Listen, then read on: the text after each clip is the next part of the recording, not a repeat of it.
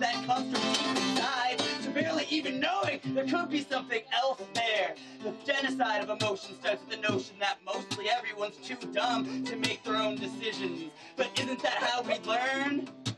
By making our own mistakes? Now we'd all just roast in a fire, conspire, retire at 25, and feed the pigeons razor wire, feed the streets with tiny tasers. Big Brother would keep men alive,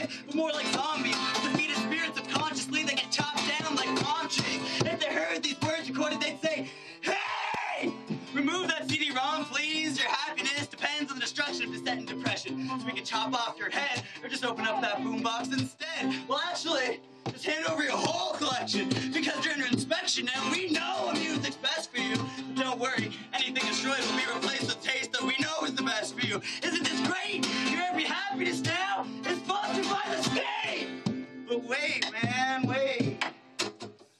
not born to experience and drove to take everything seriously to succumb to a strict abundance of schedule adherences.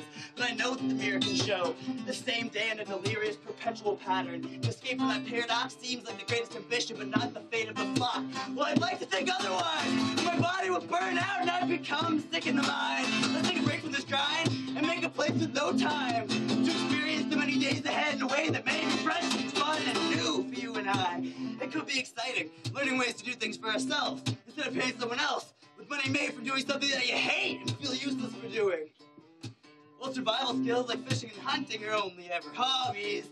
No one else ever seems to see anything wrong with this, the fatal flaw. Seems harmless enough to demotivate the only standing army that a government has to fear. It's people, it's real, and we don't need violence. But if our voice gets silenced, then tell me who regulates the regulators, who investigates the investigators, who preaches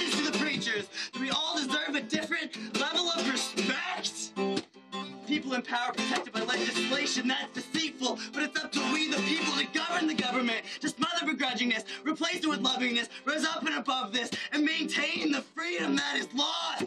So much easier than we would all like to believe. Red Pennant for Prime Minister.